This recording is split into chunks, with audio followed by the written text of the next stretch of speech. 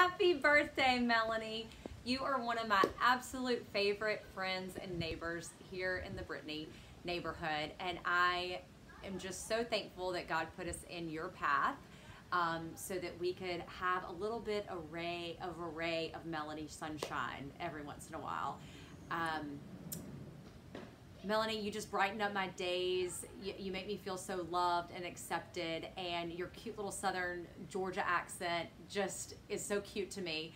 And um, I thank you for, for, for raising some great children. All right. Um, well, I have Cameron Burgundy here. What do you think about Melanie? When I think of Melanie Lipscomb, can't help but think of a butterfly beauty. She's born a little caterpillar down in Americus, Georgia. It don't get more American than that, Americus, U.S. We got a United States president from there. She probably inspired him.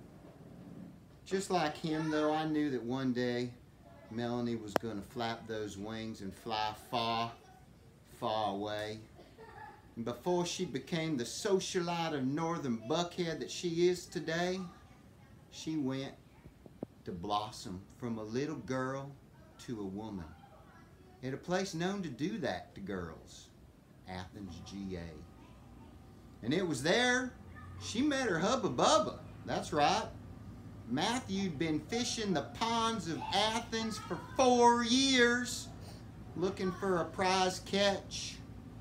And then he saw that Melanie girl looking like a little innocent freshman guppy just waiting to get hooked.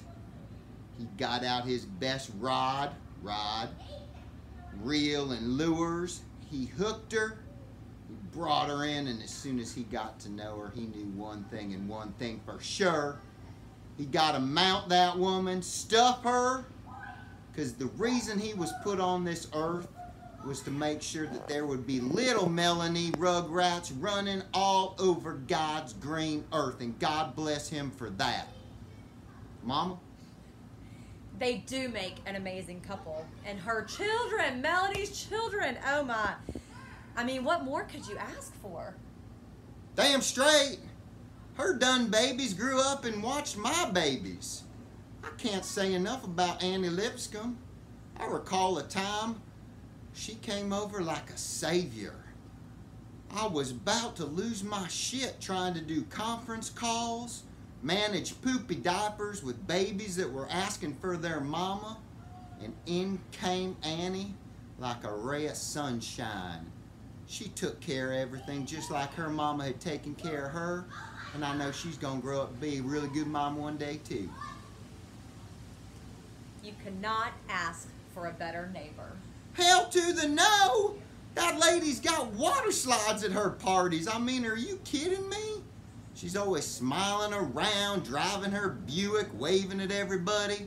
But we all know, us neighbors talk. She's the Tesla of that family, I promise you that much. She is also so very thoughtful. You're Darn tootin' she's thoughtful. Sometimes I walk in my kitchen, I see groceries on the counter, I don't know if my wife's been at Publix, Costco, or if Melanie was, Melanie was just feeling generous that day. God bless her. And her heart explodes with kindness. Now, y'all, I'm going to tell you one thing and one thing for real. And I don't care what news service you subscribe to. That Melanie Lipscomb kindness is more contagious than the COVID-19. Ain't no cure for it. No way. Ain't gonna be no vaccine. I don't care if it's now or in 18 months. You get within six feet of her or six counties, you gonna get infected by it. You gonna, you gonna get it. I promise you, you gonna get it. So Melanie, one other thing that I wanted to say is we are so grateful for the cookies and all the baked goods that you give us at Christmas. We love the Easter lily that you drop off. And as I said earlier, the ray of sunshine.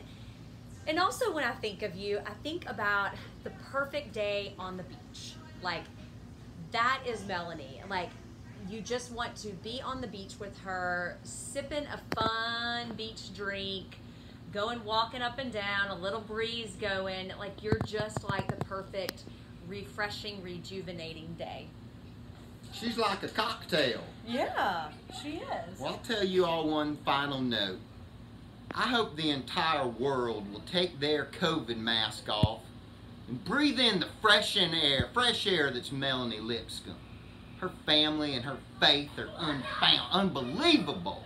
And I'll tell you one final thing. There ain't no hand sanitizer that's gonna wipe Melanie clean of what she does best, her God-given talent. And that's to love and to be loved. So happy birthday to my front yard mowing, weed picking mama. I hope you run for president someday. God bless you. You wanna go upstairs real quick, baby? Adios.